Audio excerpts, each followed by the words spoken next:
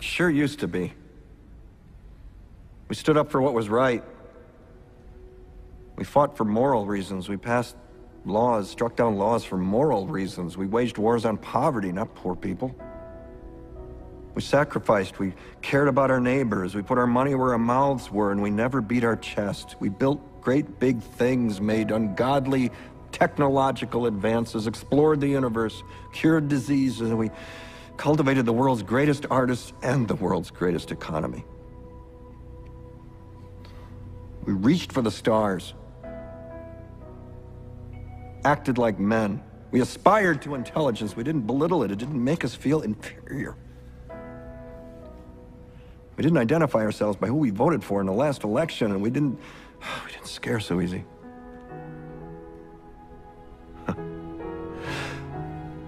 We were able to be all these things and do all these things because we were informed